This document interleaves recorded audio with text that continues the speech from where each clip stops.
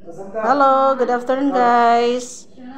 Uh, today we are making again brioche bread. Wow. Now it's ready to put inside the oven. Only 20 minutes. We're waiting for the sauce. Uh, we'll put sauce at the top. Then we will put inside the oven. Only 20 minutes. Then finish. Yeah. It's so yummy, yummy. Guys. Ang sarap nito guys. Brioche bread. Uh, yung yung ano natin, yung bread natin.